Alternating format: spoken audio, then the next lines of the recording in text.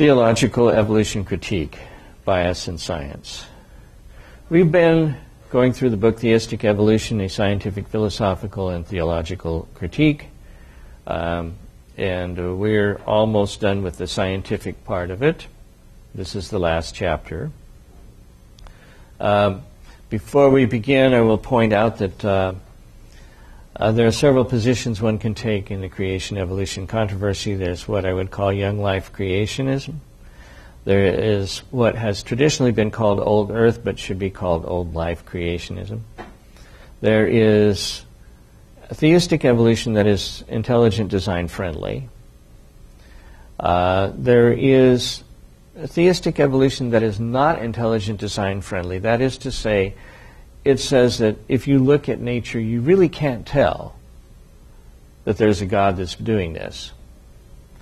Um, and of course, then there's atheistic evolution.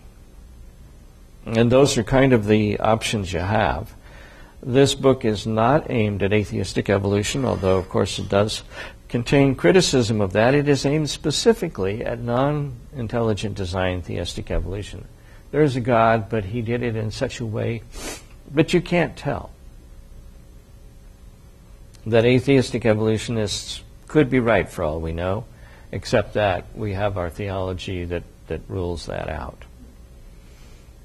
This chapter is written by Christopher Shaw. Uh, it's uh, part of Part 1, The Scientific Critique of Theistic Evolution. It's officially in The Case Against Universal Common Descent and for a Common Human Origin, but it really kind of belongs to both sides of that chapter. It's kind of a conclusion uh, and kind of an introduction to the next chapter, which is on uh, philosophy and it's entitled Pressure to Conform Leads to Bias in Science. And that's why I've shortened it to Bias in Science.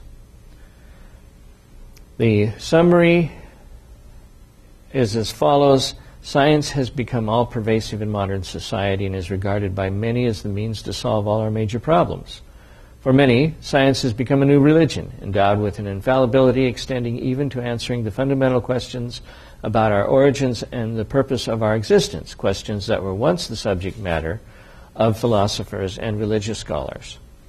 As a consequence of this new role, the scientific process has become increasing has excuse me been increasingly departing from its objective basis to one of crash, crass subjectivity, with regular, highly speculative claims being made by renowned scientists in the popular media and even in the scientific press. Phrases such as I or we believe that have become common among some scientists, particularly in the fields of evolutionary biology and cosmology. The high priests of this new religion, we'll call it scientism, are the worst offenders, and many have achieved international celebrity status.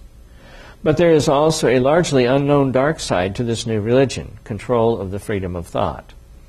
As acknowledged by the majority of scientists, the allocation of research funding and the peer review system of scientific publications are both seriously flawed and serve to maintain the status quo within the establishment by filtering out perceived intellectual heretics. New thoughts, ideas, and insights are often viewed with suspicion and require evaluation not only of their worth but also, increasingly, of their potential to challenge widely accepted dogma. Indeed, this has been an almost universal experience in the early ridicule fraught careers of most Nobel laureates in the sciences. New recruits to the system must obey the rules if they wish to maintain training positions, tenure, and career progression. So it's a problem that's not specific to intelligent design, although it fits it. Um, scientism, the new religion. Scientific advances in the past 200 years have been instrumental in producing rapid changes in virtually every aspect of life, particularly with regard to the global environmental changes associated with expanding human agriculture and industry required to feed and maintain a burgeoning human population. Science has produced numerous benefits for humanity in terms of technological innovations that have generated unprecedented advances in healthcare, nutrition, and telecommunications. Science has done well. the apparent solutions to many of life's problems and the relatively cozy lives of people in developed nations has led to the demise of tr- traditional Christian beliefs and their replacement by the new religion of scientism. The rationale for this is simple. Why feel obliged to abide by the often inconvenient and lifestyle intruding rules of a superior being, a creator God, when science is solving all our problems? And it's much more fun to ignore it. The Church of Scientism has its anti theist prophets and priesthood who pervade almost all aspects of modern life and who pursue this new religion with an almost unequaled evangelistic zeal beginning in our schools and continuing into higher education. Those who do not convert but maintain their biblical beliefs are often subjected to name calling, usually with an implication of low intelligence and often dishonesty. That's my own ad uh. Increasingly, as we have, shall see, the same strategies used for scientists who challenge the accepted scientific dogma of the establishment and not just in intelligent design. Basically, the Catechism of Scientism states that the universe and life arose through cosmic accidents over long, vast periods of time, and that therefore our human existence has no defined purpose. Individuals are free to do as they please. And stop that for a minute. Did you notice that? Arose through cosmic accidents over vast periods of time. We weren't going to be attacking the time frame, right? Oops. Move on. Uh, individuals are free to do as they please, as there is no rational scientific basis for moral concepts such as good and bad. We are told that we are not alone in the universe, and that indeed many universes may exist, of which ours is only one. These dogmas are not, as one would expect, based on scientific proof in the form of reproducible and experimental evidence, but rather are based on speculation or individual beliefs. Stephen Hawking, quoted in the Mail Online in an article entitled New Hunt for Alien Life, said, We believe, this is emphasis supplied, of course, that life arose spontaneously on Earth. So, in an infinite universe, there must be other occurrences of life. Somewhere in the cosmos, perhaps intelligent life may be watching these lights of ours, aware of what they mean? Or do our lights wander a lifeless cosmos, unseen beacons announcing that here on one rock the universe discovered its existence? Either way, there is no bigger question. We must know. Such statements would not be considered scientific and are more consistent with a religious belief system, but being uttered by one of the most high profile scientists of our time, they are taken by the general public as factual and true. Such subjective commentaries from eminent scientists are now commonplace, and many, especially the young, are being subconsciously initiated into the new religion. Evolutionary theory was one of the first areas of science to travel this path, and any alternative explanations or beliefs concerning life's origins or diversity are treated as heresies in the vast majority of schools. Deviation from this establishment dogma by teachers can result, and indeed has resulted, in litigation or dismissal from employment. Among his great scientific achievements, Craig Venter, an entrepreneurial molecular biologist, suggested it, uh, succeeded in making the first synthetic bacterial cell, which he named Synthia.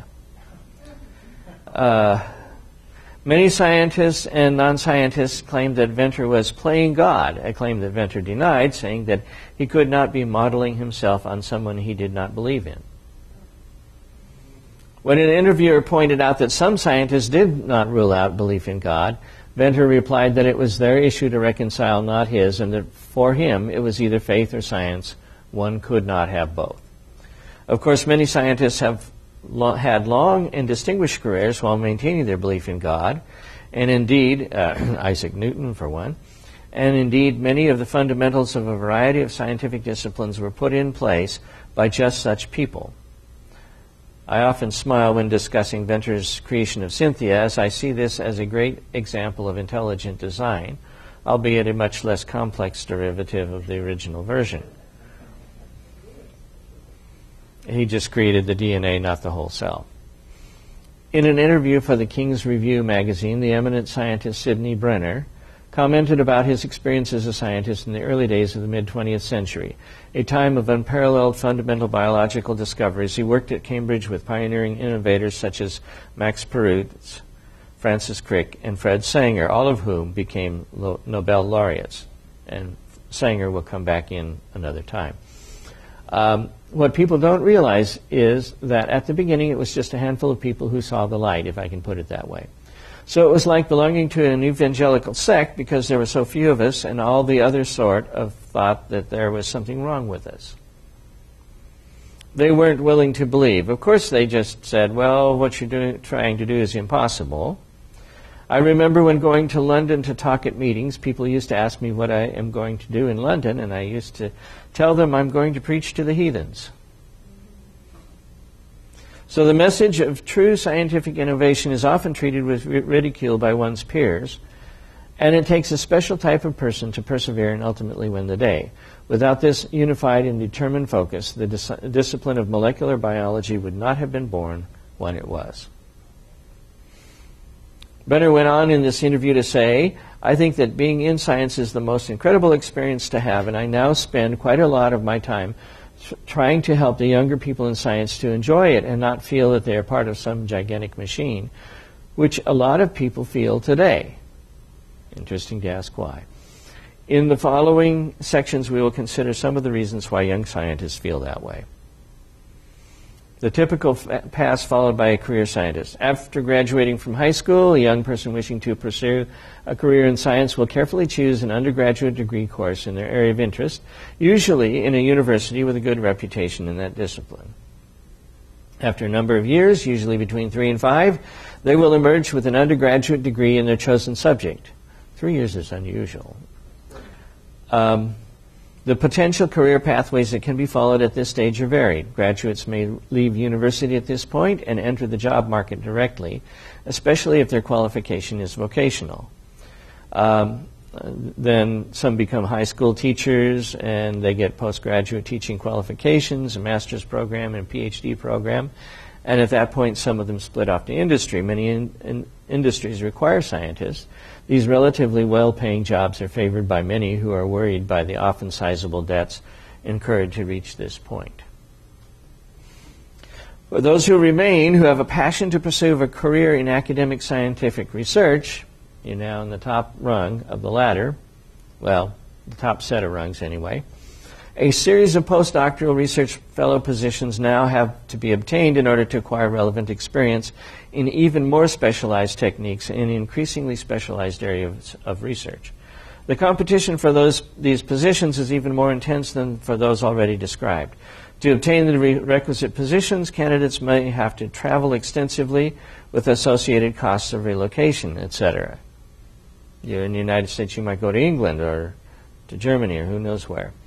After successful completion of an average of two such positions with associated appropriate academic outputs, the aspiring research scientists, now in their mid 30s, will be in a position to apply for the uh, even rarer tenured or tenure track academic jobs for which competition is fierce.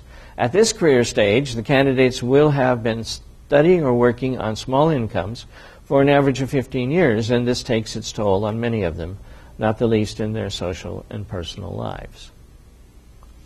For the few who obtained tenured or tenure track positions, while many battles have been fought and won, the war is not over yet. These positions invariably have uh, periods of probation of sometimes three years duration, after which the relative security of tenure will be achieved, subject to a satisfactory performance as judged by faculty and or university administration. Such performance indicators may include quality of research grant income, number and quality of research publications, and assessment by the undergraduate students they have taught. In fact, in many institutions, established academics are subjected to regular performance assessments, the results of which may determine salary increments, progression to higher grades, and in some instances, maintaining uh, positions per se, although I thought that was what tenure was supposed to protect against. It is thus not surprising that after undergoing such stringent selection procedures, those who emerge at the end of the process are highly talented, highly motivated, determined individuals. However, they are thus, for the most part, highly unlikely to do anything that would serve to create dissent or engender disfavor within their respective university or scientific establishments, for the not unreasonable fear of losing all that they have strived to obtain. Although tenure sometimes does work, witness Michael Behe. The common view that scientists are free thinkers who are open to all new ideas and can pursue such without hindrance is not what occurs in reality. And the following sections give some insights into how controls occur in internal university appraisal processes, the obtaining of external income for research, the peer reviewed publication of such results, and how these factors relate to one another the financing of research through externally acquired income. A colleague of mine once said, in response to a question from the dean as to why he was considerably more successful than his peers in obtaining external research income, that he only wrote an application for funding when he had a good and novel idea. This would probably be the general impression of the public, uh, but it is apparently, but it is apparent rather than real. It may come as a surprise to many that the topics of scientific research are actually not chosen by the applying scientist, but rather by the funders themselves. He who pays the piper calls the tune. These research themes and special initiatives are driven largely by economic and political agendas and are not curiosity driven by the scientists themselves, hence the drive towards applied research and away from individual curiosity inspired questions. While this situation could be deemed a logical path in the maximizing of research efforts for economic benefits, especially considering that much of the research depends on public funds, it actually serves to prevent innovators from pursuing projects that would be considered unconventional, and this is exactly where true innovative discoveries most often arise. External income from university research comes from a multitude of sources. The major sources of external income for specific research projects tends to be government, charities, and industry. Each source works in different ways with different agendas. The funding from government sources, and they give details about the charities and the industry as well. I'm going to skip over those. Um, while various sources of external research income are very important to the research machine, the most favored and predominant are those from government sources. There are several reasons for this, including the fact that it is most, the most highly competitive source, but also that such grants often cover full economic co- uh, costs of the research for the university administration. Sorry.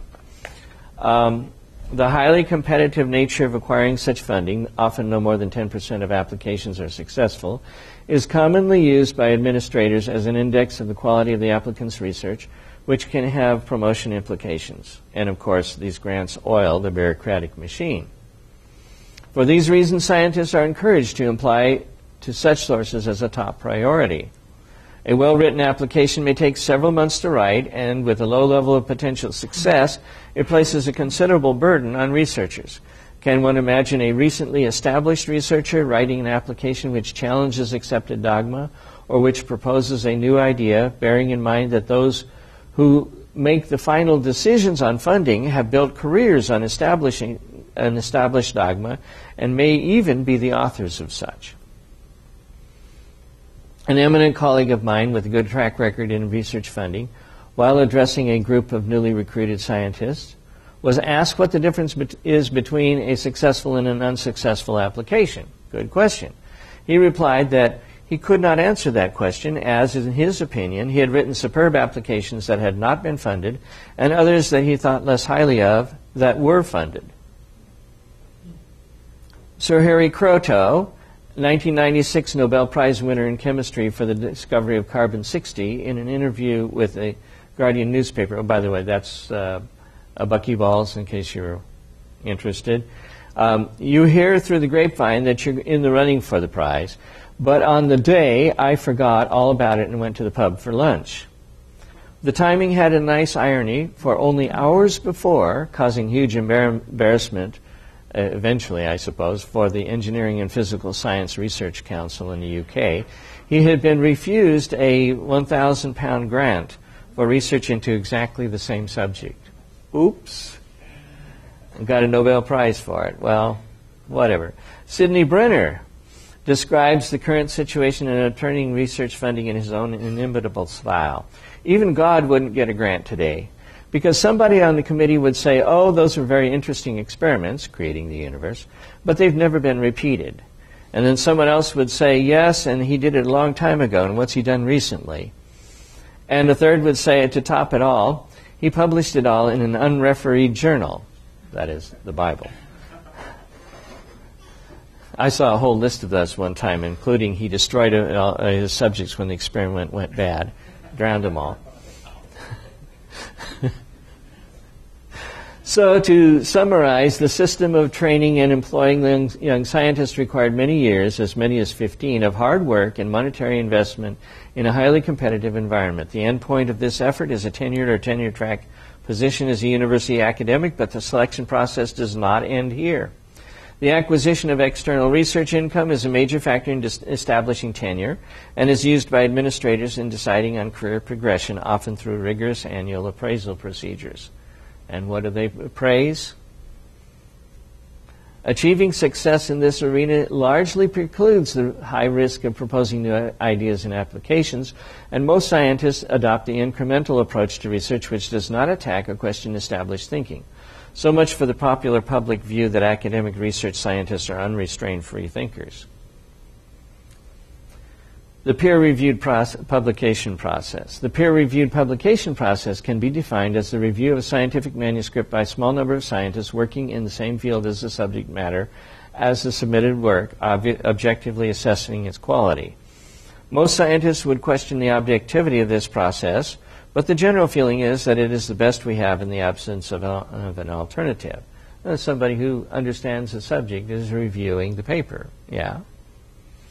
But is it really good enough in the 21st century to have a subjective system which has endemic bias and which can effectively undermine the dissemination of new information and ideas and can influence the careers of academics in an unfair and unregulated manner? In a tribute to his colleague Fred Sanger, Nobel Prize in Chemistry 1958 and 1980. Now, this is double Nobel Prize. Published in Science, Sidney Brenner wrote, a Fred Sanger would not survive today's world of science. With continuous reporting and appraisal, some committee would note that he published little of import between insulin, which he discovered in 1952, and his first paper on RNA sequencing in 1967, with another long gap until the DNA sequencing in 1977. So two out of his three projects were Nobel Prize winners, but, you know, not really he would be labeled as unproductive, and his modest personal support would be denied. We no longer have a culture that allows individuals to on, embark on long term and what would be considered today extremely risky projects. Interestingly, in, another, in a similar vein, Peter Higgs, who won a Nobel Prize more recently for a prediction of the boson which bears his name, said in, an interview in the Guardian newspaper that he doubts a similar breakthrough could be re- achieved in today's academic culture because of the expectations on academics to collaborate and keep churning out papers. He went on to say that it's difficult to imagine how I would ever have enough peace and quiet in the present sort of climate to do what I did in 1964. Such immense figures in science are not wrong in their assertions, and there are few career scientists in the academic world today who would disagree with these sentiments. Maybe one of the reasons why so many Nobel Prize winning scientists are critical of the subjectivity of the peer review system is that in their early careers, papers describing their initial award winning discoveries were rejected by their peers. These rejected laureates, and there's a whole list of them, and I'm just going to pick out two of them Eugene Wigner uh, and Murray Gell-Mann, both of them in physics. Uh, but there are 27 papers they list, and the journals rejecting their papers include Nature, Physical Review, Journal of Biological Chemistry, Journal of American Chemical Society, Journal of Organic Chemistry, Chemical Reviews, Physical Review Letters, Journal of Chemical Physics, Science, Analytical Biochemistry, Applied Physics Letters, and Journal of Clinical Investigation, latter being a medical one, of course.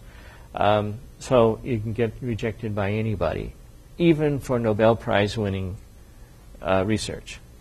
As can be seen from that list, the rejection of papers by well known and highly respected scientific journals is not discipline specific. There has thus been a most fundamental and dramatic climate change in ap- academic science over the past decades one of such a magnitude and severity that the innovators in our global society are finding it hard to flourish or even just survive. How has this happened and why have we let it happen?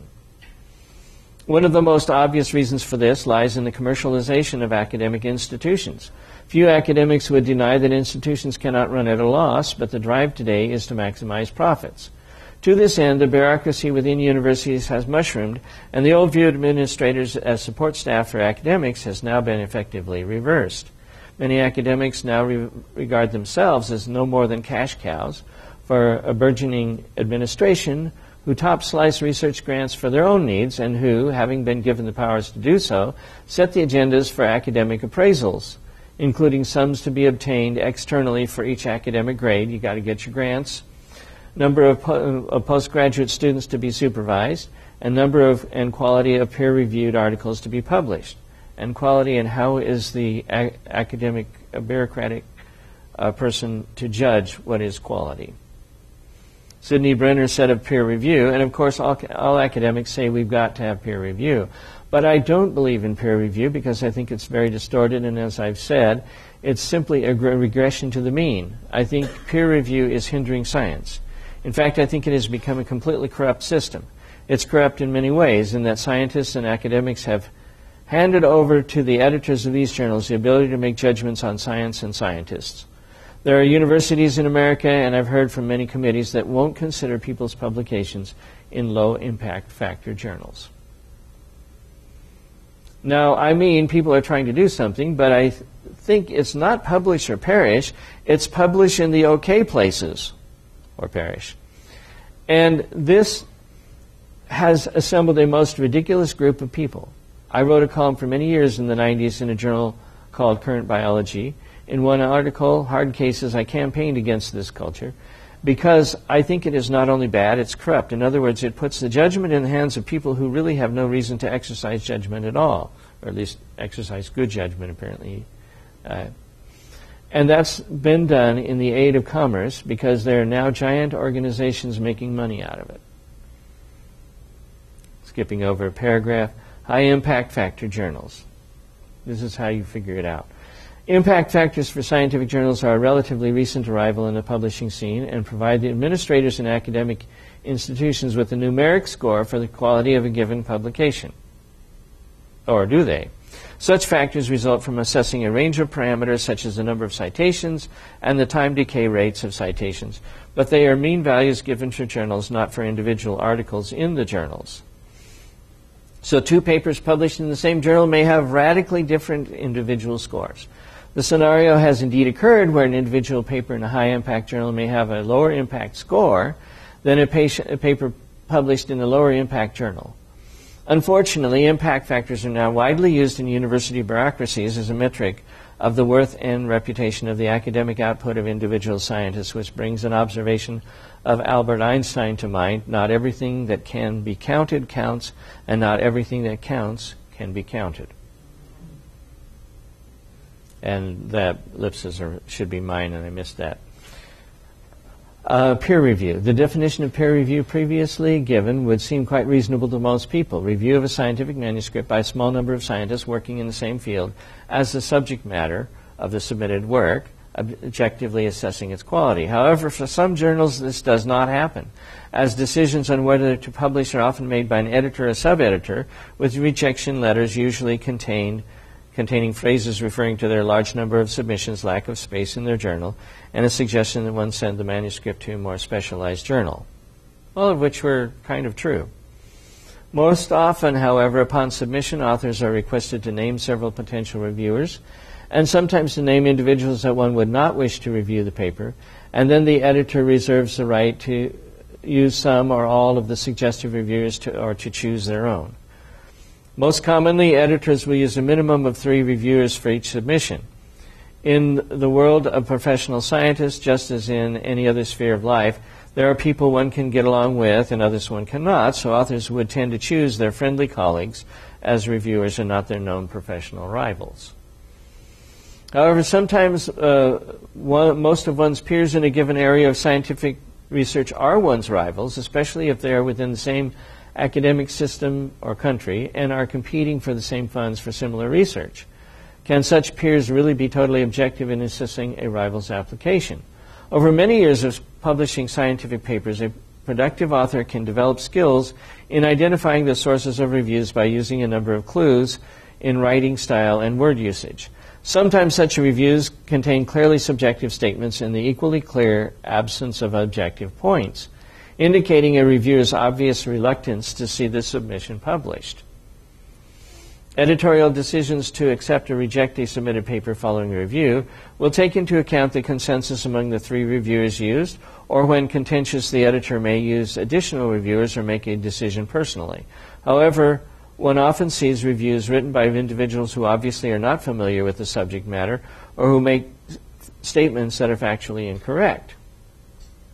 Uh, skipping a little bit, critics of non mainstream robust scientific findings often cite the fact that these have not been subjected to peer reviewed publication, but surely it is clear that this argument is facile. Many of the so-called modern gurus of science disseminate their own, their often outrageous and untested pseudoscientific dogma in the popular press, and it is becoming increasingly obvious that the public are unwillingly, unwittingly influenced by such, believing this to be authentic scientific fact. On the other hand, the current system of peer review, both in funding for research and in publication of papers, is highly focused on maintaining the status quo and is often highly dismissive of genuine ideas and novel findings. This has been and continues to be the experience of many innovative scientists, including most Nobel laureates. Note again our long list of rejected laureates. Although it is clear that the peer review process is highly subjective in many aspects, many authors have wondered whether actual bias exists in the process. The answer is yes, with elements of both sexism and nepotism having been found.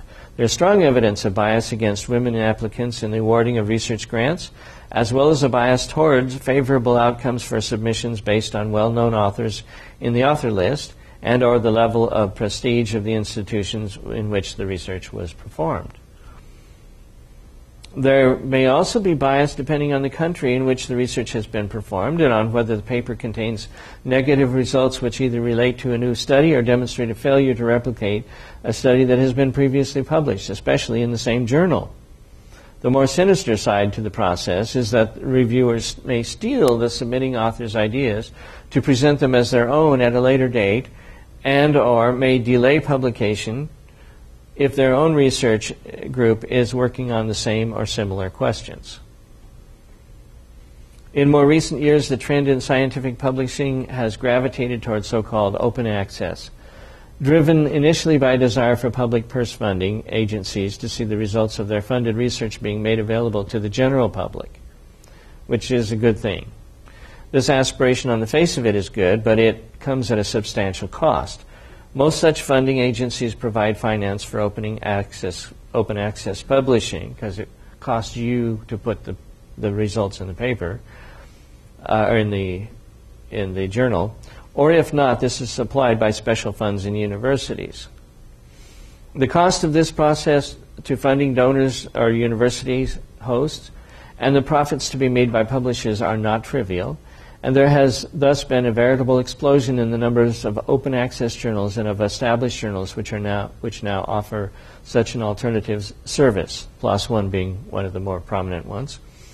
Uh, the peer review process occurs much as before, but the uh, the approach to this has become somewhat soft-handed, because after all, they get money if they publish it.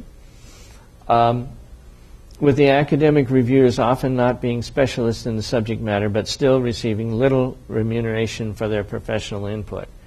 And uh, I have a little experience in that.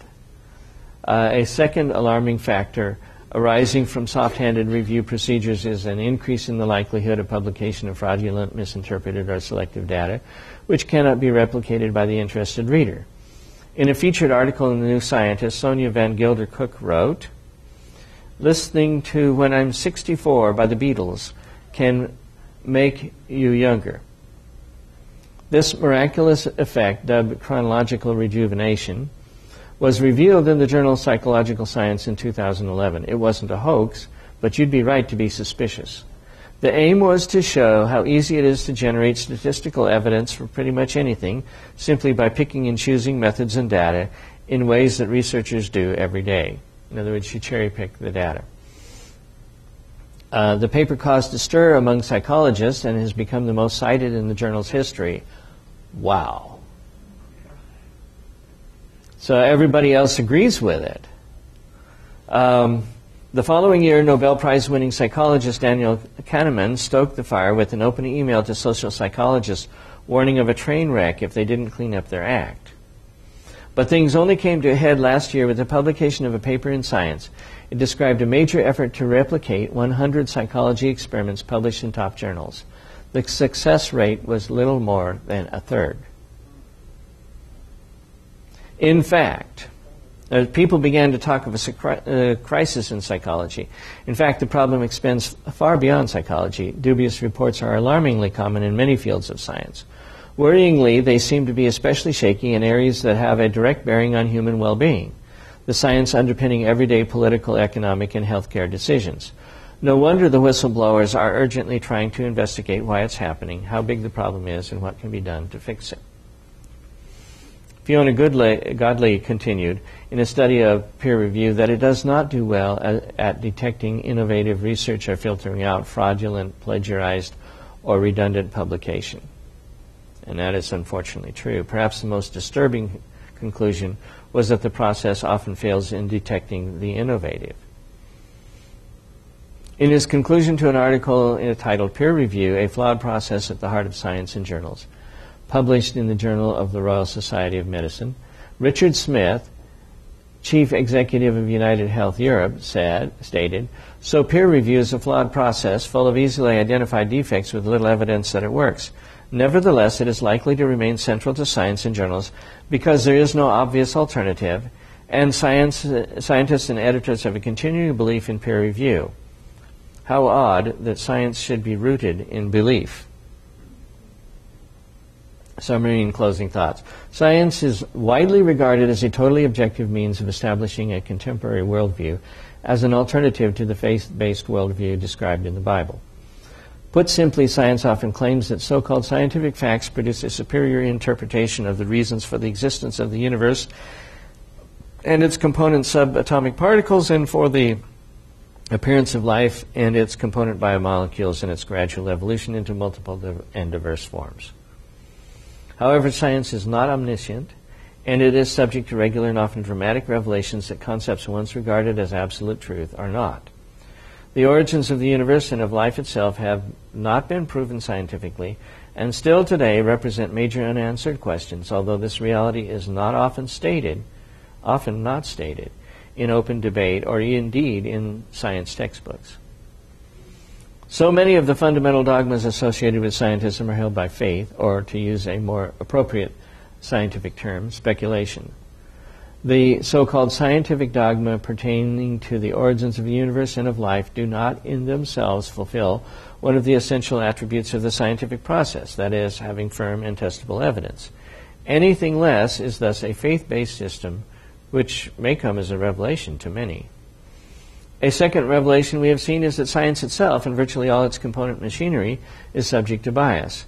Young, aspiring research scientists have to undergo a long period of study and training and may, if fortunate, secure a tenured or tenure track position in their early to mid 30s, having invested much time and financial resources and often having personal and social commitments that can affect the objectivity of their work. Under such circumstances, they may have little interest in challenging the scientific establishment. In times past, once a tenured position was secured, the researcher was essentially free to pursue new ideas that w- would challenge accepted dogma without fear of dismissal. But in more recent times, this contractual provision has all but vanished from academia. In many institutions, academics are now subjected to regular appraisals by the administration to evaluate their progress through analysis of key performance indicators, and failure to meet such arbitrary criteria can result in failure to progress through the salary scales and obtain promotions, and can ultimately result in dismissal from employment in one's chosen field. Skipping the, la- uh, the next paragraph, career research scientists have thus had to thus have to abide by certain rules of engagement if they wish to be successful in this highly competitive environment. And challenging ex- establishment docta- dogma on practices in their respective chosen fields would be detrimental to smooth and rapid advancement. This is one of the main reasons why many of them remain silent or guarded in their speech and writing during their employment, choosing to toe the party line. However, upon retirement and or after a major award such as a Nobel Prize, many scientists are free to speak openly about the state of bias and the problems in science, as is in the case with some of the authors cited in this chapter. Perhaps this chapter can be best summarized by an article written by Lee Smolin, published in Physics Today and entitled Why No New Einstein, in which he analyzes the position of innovative and independent thinking scientists in what he calls the hostile environment which they currently inhabit. He writes, those who follow well, large, well supported research programs have lots of powerful senior scientists to promote their careers. Those who invent their own research programs usually lack such support and uh, hence are often undervalued and underappreciated. People with the uncanny ability to ask new questions or to recognize unexamined assumptions, or who are able to take ideas from one field and apply them to another, are often at a disadvantage when the goal is to hire the best person in a given well established area. In the present system, scientists feel lots of pressure to follow established research programs led by powerful senior scientists. Those who choose to follow their own programs and under- understand that their career prospects will be harmed. That there are still those with the courage to go their own way is underappreciated. It is easy to write many papers when you continue to apply well understood techniques. People who develop their own ideas have to work harder for each results because they are simultaneously developing new ideas and the techniques to explore them. Hence, they often publish fewer papers, and their papers are cited less frequently than those that, that contribute to something hundreds of people are doing. It is thus evident that the current system of funding, review, and publication of scientific research, rather than facilitating those with brilliant, innovative, and questioning minds, served uh, to make their work more difficult and demanding than that of their compliant peers. Perhaps this is one of the reasons why the current research literature is composed predominantly of incremental studies on previously revolutionary scientific discoveries and not with those of a game changing nature. In view of the fact that scientific research currently receives considerably more funding than at any time in human history, the scientific establishment urgently requires a revolution in its operational practice practices to eliminate the numerous points in its procedures at which bias in all its forms takes place. It is not good enough for the establishment to say that the systems of academic appointments, promotions, evaluations, and peer review of grants and publications are flawed, but are the best that we have. It is also unacceptable that research themes and funding initiatives should be set by politicians and administrators, and that what appears in published forms should be the final decision of journal editors. Science agendas need to be set by scientists themselves, and freedom of thought and the generation of diverse ideas should be the main drivers in these processes. To paraphrase Albert Einstein, the problems we face today cannot be solved by the minds that created them.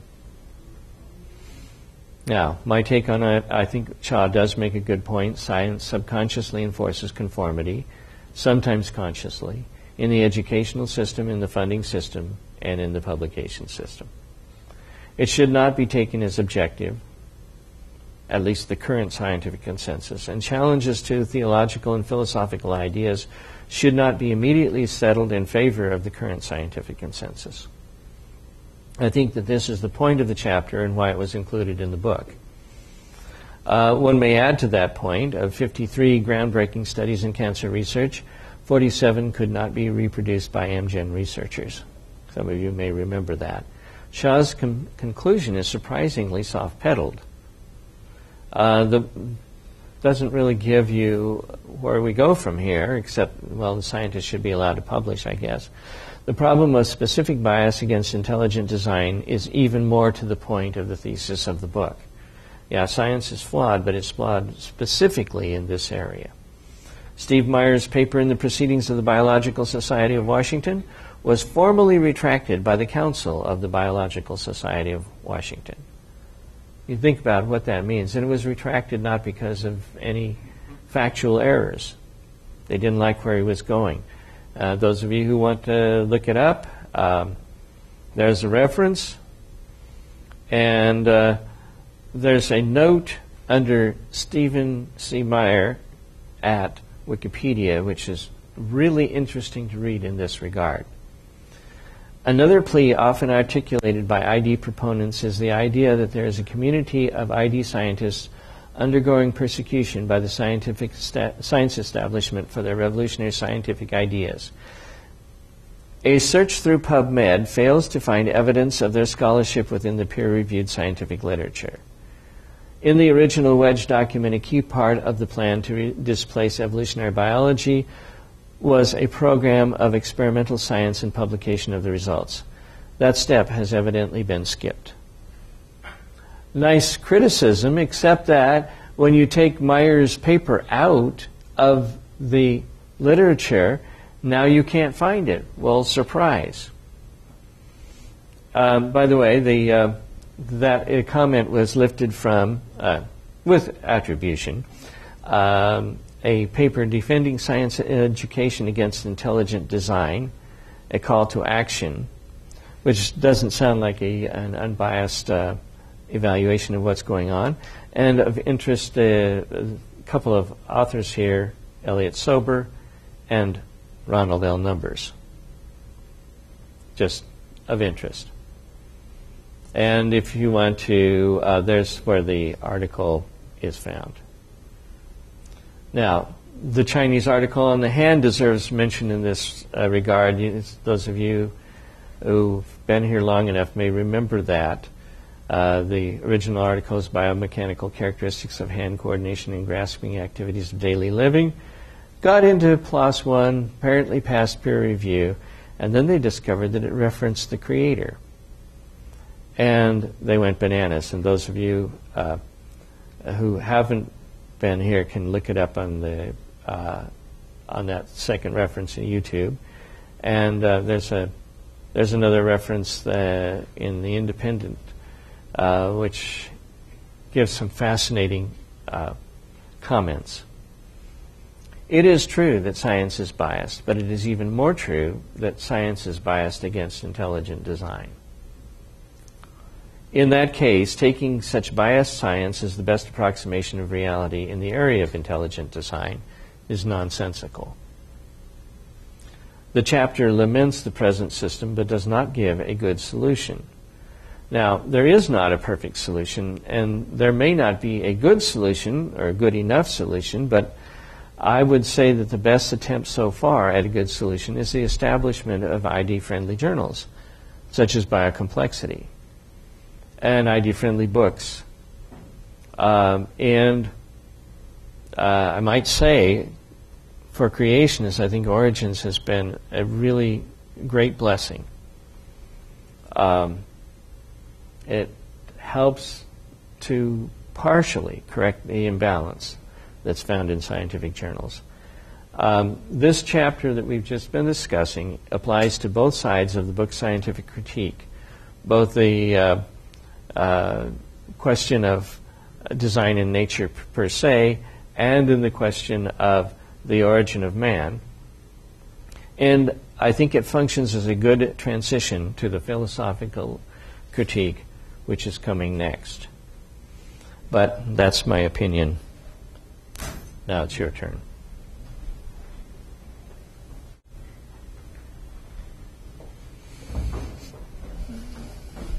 Yes, uh, Ariel. It seems to me that uh, basically here, when you have a peer review system, you have kind of a built in system for perpetuating a paradigm. Of course you do. And this is recognized not just by intelligent design people, it's recognized by scientists across the board. And uh, if you want to get stuck with ideas, that's the way to go. If you want to discover something new uh, and so on, it's not the way to go, of course. Yeah. And, uh, uh I don't know what the solution is. Of course, uh, there is some, uh, of course, some trends towards independent publishing, but uh, peer review carries uh, quite a bit of clout, and uh, we're stuck in a system that is biased. Yeah. By the way, it's not totally bleak.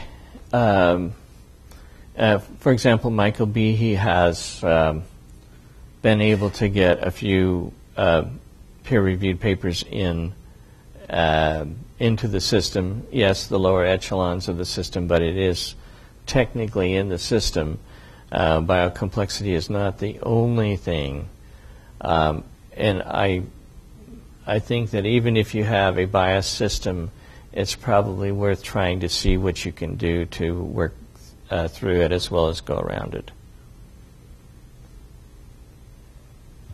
Uh, comment over here and then uh, down. This sort of reminds me of the experience that uh, early Adventists went through, notably Ellen White, in breaking loose from the establishments of other religions. And uh, they had to set up separate publishing organizations, the Review and Herald and Signs of the Times, in order to get published. And uh, of course, once they set it up, and they they realized they did. Uh, they put a lot of energy and effort and a lot of marketing skills into setting up those publishing houses, and look where we are today. Well, now, just uh, by the way, the Review and Herald certainly isn't what it used to be, and none of these publications are.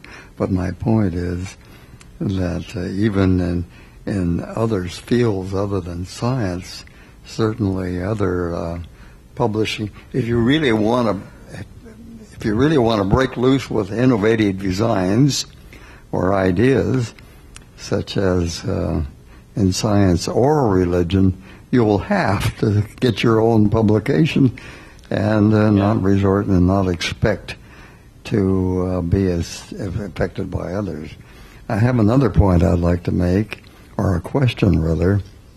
I noted that in uh, all of these these um, statements that were made and that you quoted that uh, somehow the final authority seemed to be the Nobel Prize.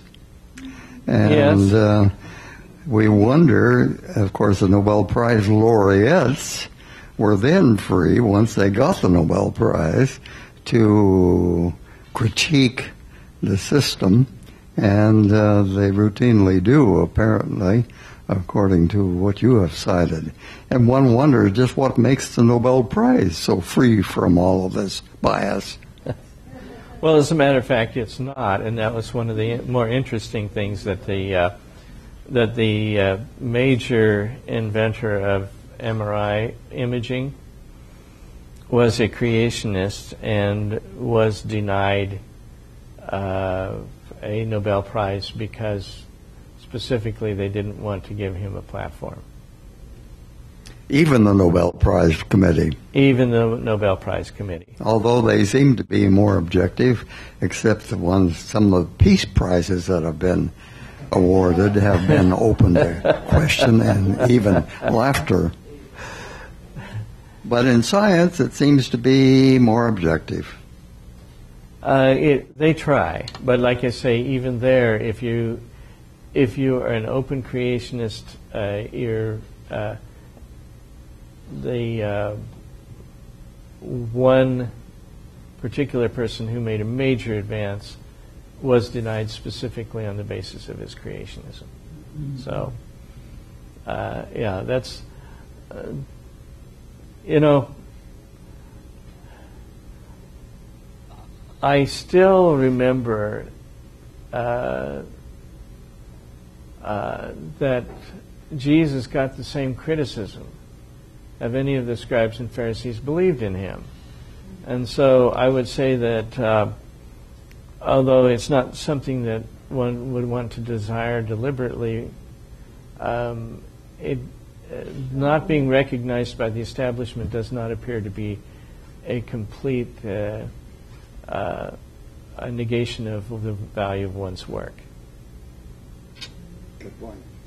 Okay, we've got a comment here. Uh, I have a bunch of comments about this, probably just because uh, I have extensive experience with uh, peer reviewing and being part of my profession as uh, doing professional peer review. Um,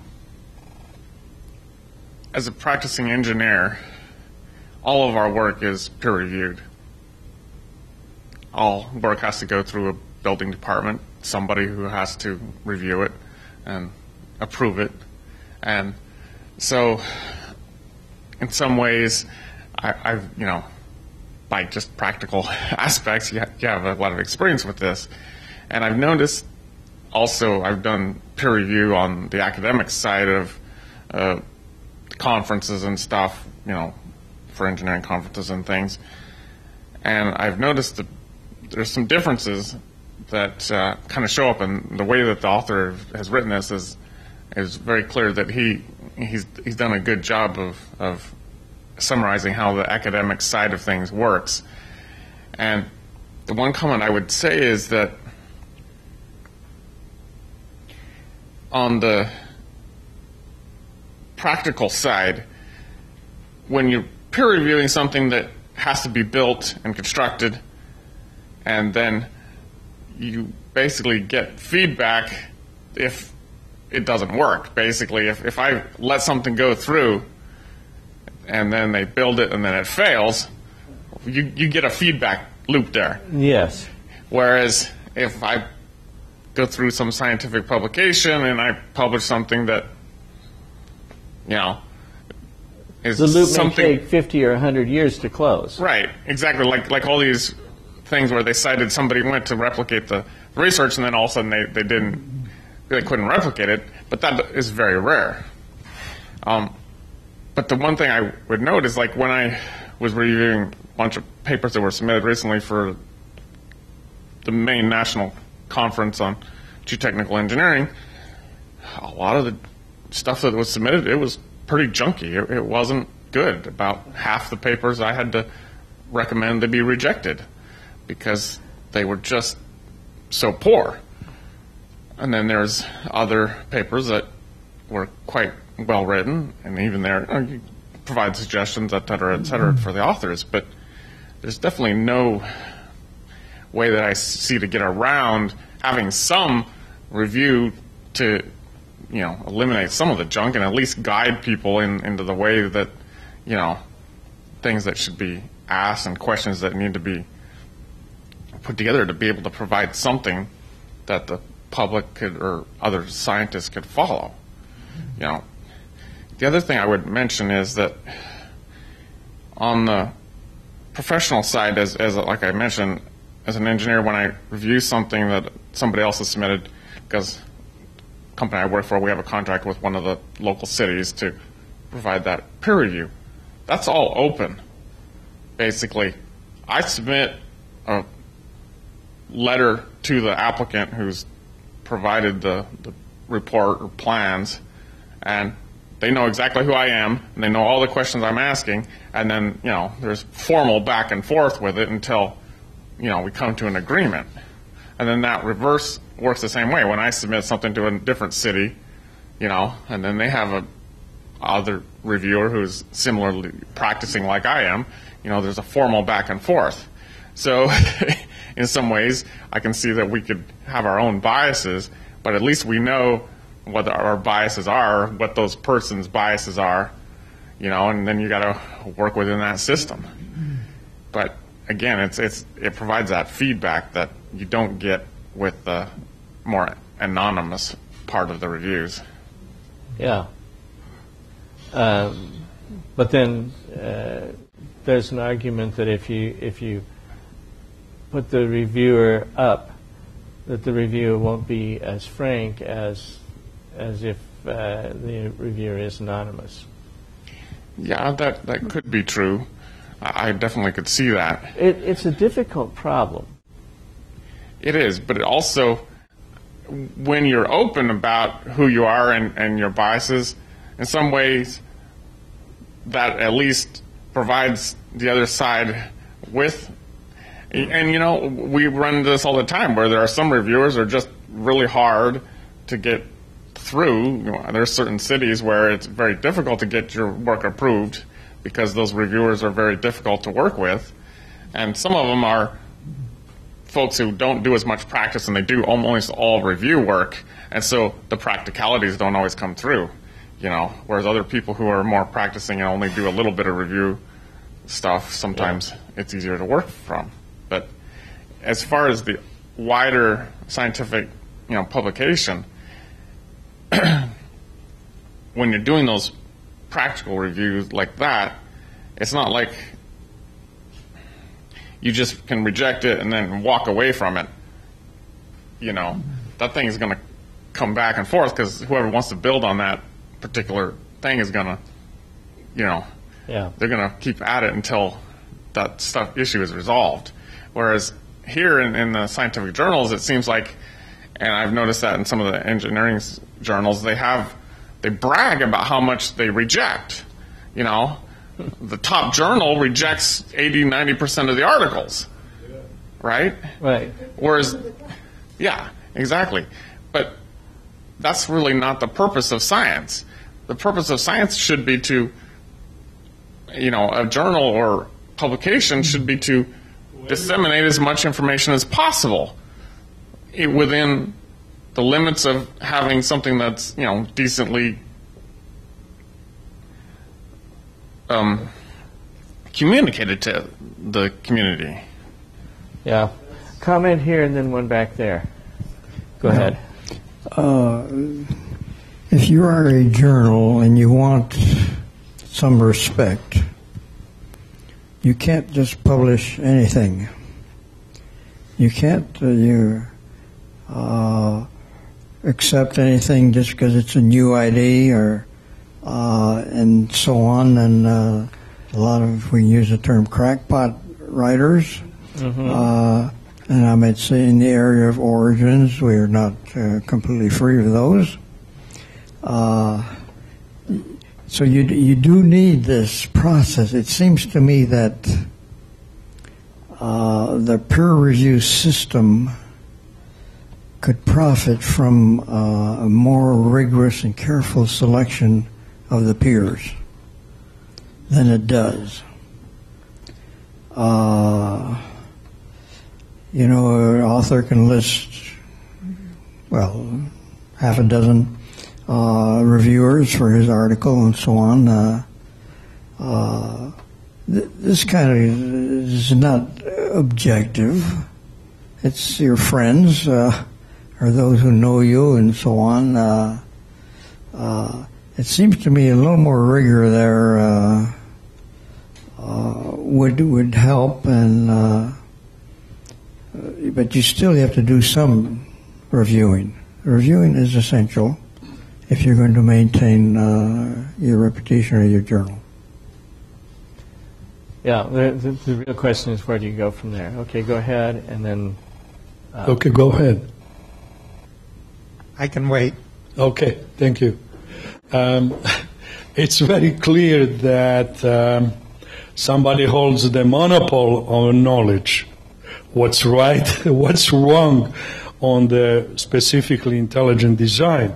So is it that uh, Academy of Science uh, is one of America that, that holds that kind of kind of control, monopoly? Monopoly. Yeah. Yeah. Um, they would like to. Fortunately, it's not a complete monopoly. But uh, but they will throw what, how much weight they do have around on that. So that's that's not the like scientific way to to let the science uh, being uh, developed to come to the truth. No, uh, the the important thing is that when one realizes that there is a bias, then one has to account for it, and that means that even an august society like the American Academy for the Advancement of Science uh, should not hold a monopoly on uh, the ability to say anything in a scientific journal.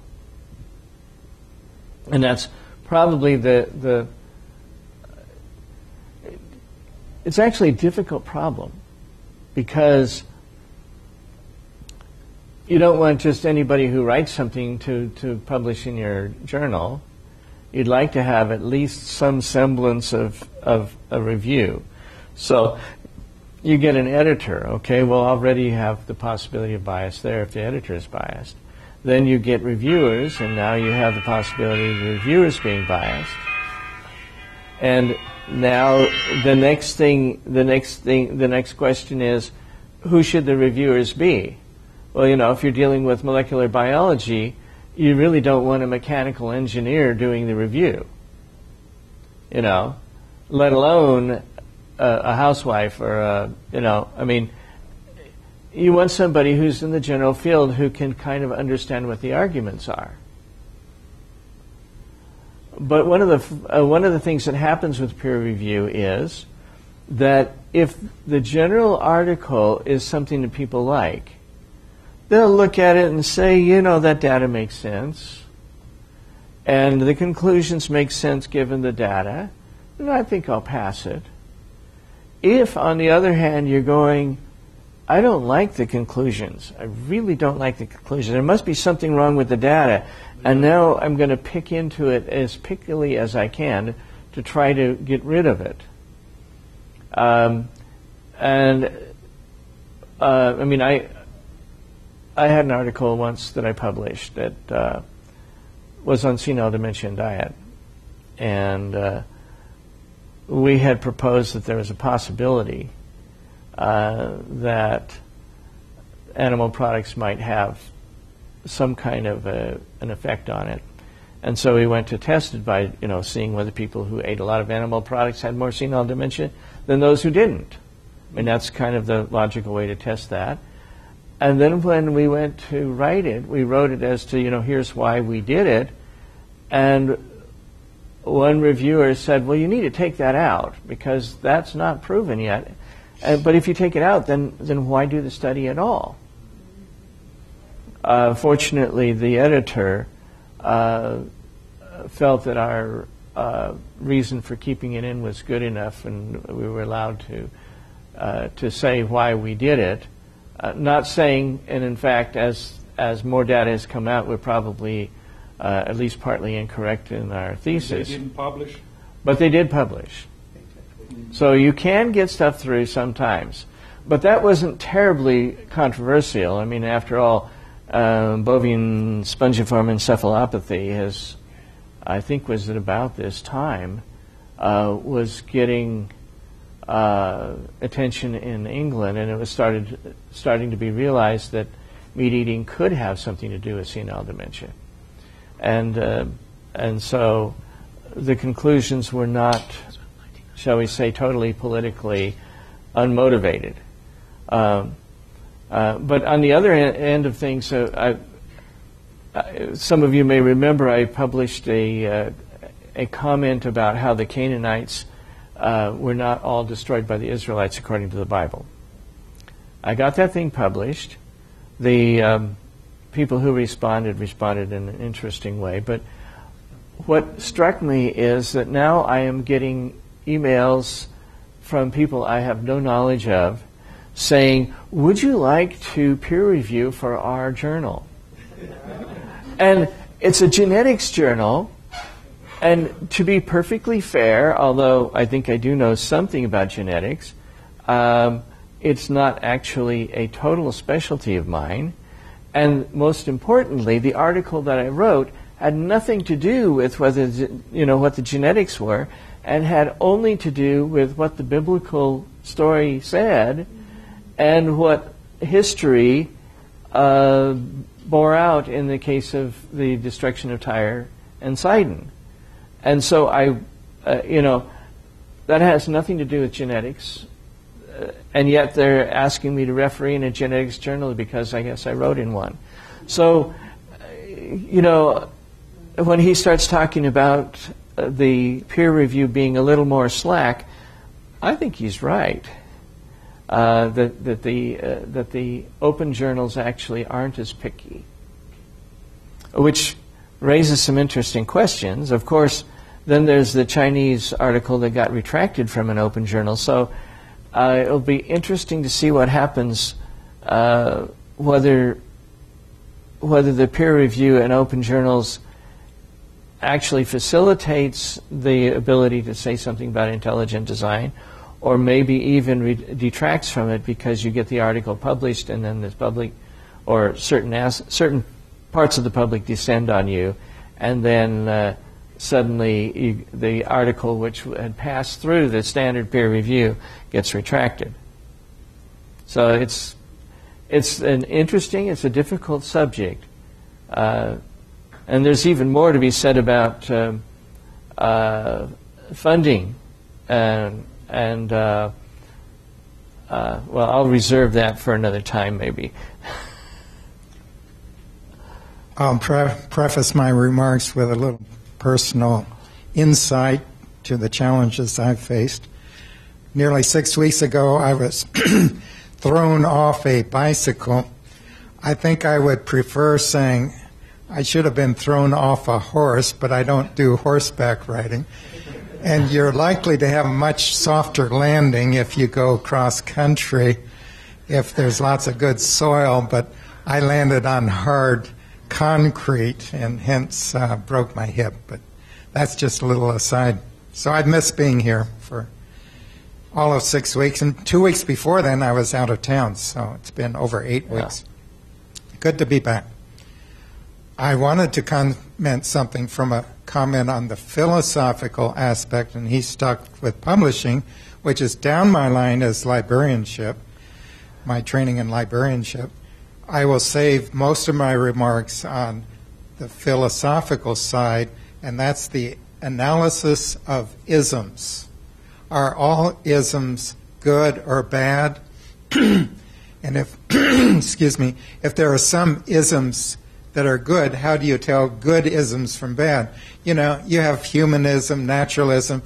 The next two uh, titles of the chapters, methodological naturalism. So I'll save my, my remarks there.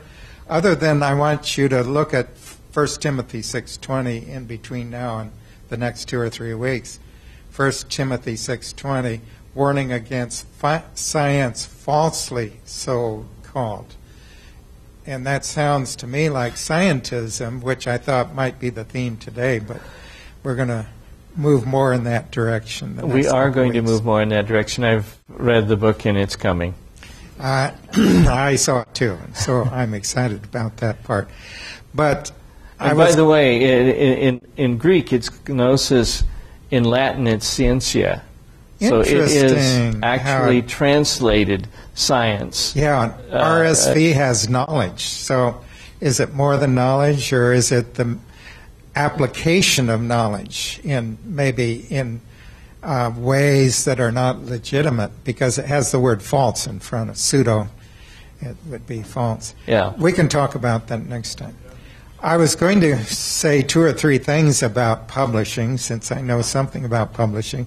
My own experience, I have published in a key creationist journal in the last two or three years now, uh, a lengthy article, and I have a second article that's in the process of peer review. So I know something about it, but I don't want to prematurely evaluate the pre peer review process until that gets fully reviewed. I've made it through two or three hoops. Two of the three reviewers are very pleased with it, and with changes, of course, they have. But I hear there's one reviewer that's holding back, and I won't say more about that. Hopefully, it'll get published. Um, Dr. Roth's comments here, I think, are very appropriate. Uh, do we throw out the whole peer review process? No, and your comments too there. We need it. Uh, engineering, it needs it, but uh, some of the soft sciences, in addition to the hard sciences, we need peer review. But the thought occurred to me to make it really equitable, you almost need peer reviewers of the peer review process. So you need to set up another entity that reviews the whole process to make sure it stays on track. And Yeah. I, I'm not sure who's going to determine that. But I will d- say one more thing about peer review process and publishing. Dr. William Shea, retired archaeologist, still alive, uh, biblical archaeologist. He was trained in the medical sciences right here at Loma Linda. He has an MD degree. He went to University of Michigan, Ann Arbor, highly trained to the PhD level there. And I asked him about the time he was close to retirement, I said, You know, I've been wanting to get stuff published, and so hard. He said, Don't worry. He said, For me, over a lifetime, for every 10 articles I submit, nine of the 10 go into the trash can. And I thought, here's a brilliant mind who can publish more easily than most of us could.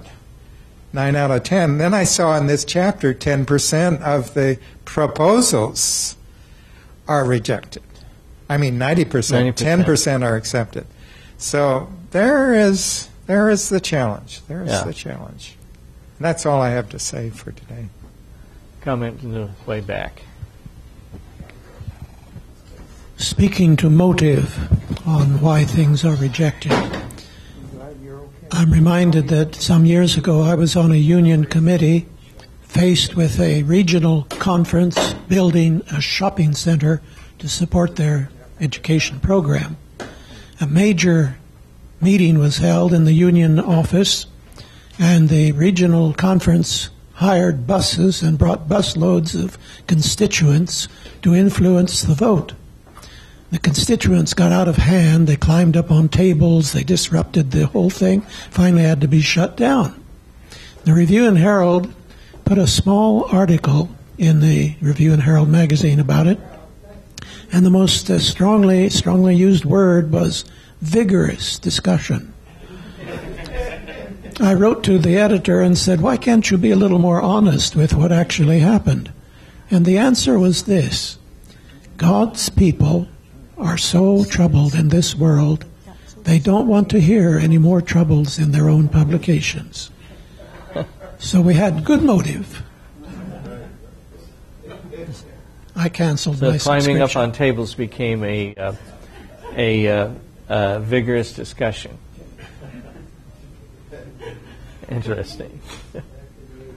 well, that's uh, yeah, that's um, that's interesting. No, if you think about it, if you're a if you're a department chair, and you're the chair of the Department of Chemistry, let's say.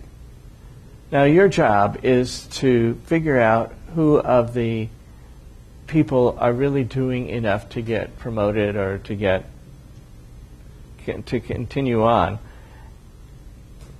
Well, how do you determine that they're good enough? If you're lucky, you're the department chair and you actually have your own specialty. So you have a, let's say you're an inorganic chemist. Well, how do you know what the biochemists are really doing and whether they're really doing it well or not? Well, the answer is you don't. Because it's far enough away from your specialty that you're kind of hanging on by this, you know, skin of your teeth trying to understand it.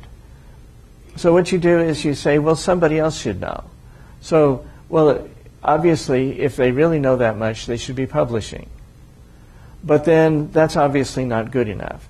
So you say, well, they should be publishing in the better journals like Nature instead of in uh, Journal of the, I don't know, uh, Northwest Chemical Society. You know. Um, and uh, so that now there has to be impact journals. Well, but you can publish any article in one of those journals and nobody really cares. Uh, is it you know if if you have three citations, it, uh, does that really have you really influenced the? Uh, and so what these are all doing is trying to substitute other people's judgment for your own.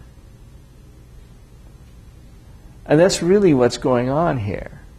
It's what's going on in terms of employment. It's going on in terms of of uh, publication, uh, because people who like the general ideas where you're going are going to judge people less harshly. Uh, you know, if, if you don't like it, you may demand to see the original data because you can't believe it's really true. If you do like it, you, yeah, it looks good to me. And pure fraud could just slide right on through because nobody really checked. And a really sharp but dishonest person can just make sure that their data doesn't disagree with anybody else's but goes beyond it in some way. Um, and, and everybody is going to go, well, whatever. And in fact, there was a case of a, a, a prolific author. He's 140 uh, articles or something like that before his scam got shut down. And I'm going to say his scam got shut down because when they went to go and look at all of the notebooks that were supposed to have the original data were just not there. And in fact, there was an early call where he had written on some obscure subject of um, uh, hereditary cardiomyopathy and published some really nice data. And somebody else had done the same research. And I don't know whether they published data or not, but they wrote in as a letter to the editor saying, this guy's data disagrees with ours. And they said, we don't understand why. It could be that A, that our, our patient populations are different. It could be, and it listed four things that could account for the differences. Fraud was never mentioned. Um, and so, even if you try to replicate studies, it doesn't pick out deliberate fraud. Um, uh, you know, as long as people think, well, it sounds good, they're, they're willing to let you go. But where you have really good data, but it doesn't fit with the paradigm, um, I had I had one reviewer of an article I uh, submitted to the uh, American Schools of Oriental Re- Research on uh, Levitical scroll, and at the end of the article, which I presented uh, uh, orally before, um, there was uh, the one guy, and he uh, one guy took a you know I'm not sure it's ready for publication, but you know this is an interesting idea, and we should check this, and we should check that, and all that. And uh, the other guy said, "This guy doesn't know what he's doing. He's an idiot. He you know," and and he went on to say that even if we had a carbon 14 date on the skull, I still wouldn't believe. And at this point, you realize that this guy's criticism is not really based on what objective reality is. It's based on, uh, you know, he, he has a theory and he's not, he, he's just not letting go of it, period. The evidence is totally irrelevant. Um, and uh, uh, if you have somebody like that as your reviewer, you're going to get a negative review regardless of what you do. And my sense is that much of the time in traditional uh, standard journals that intelligent design is getting that kind of review, that the evidence really doesn't matter.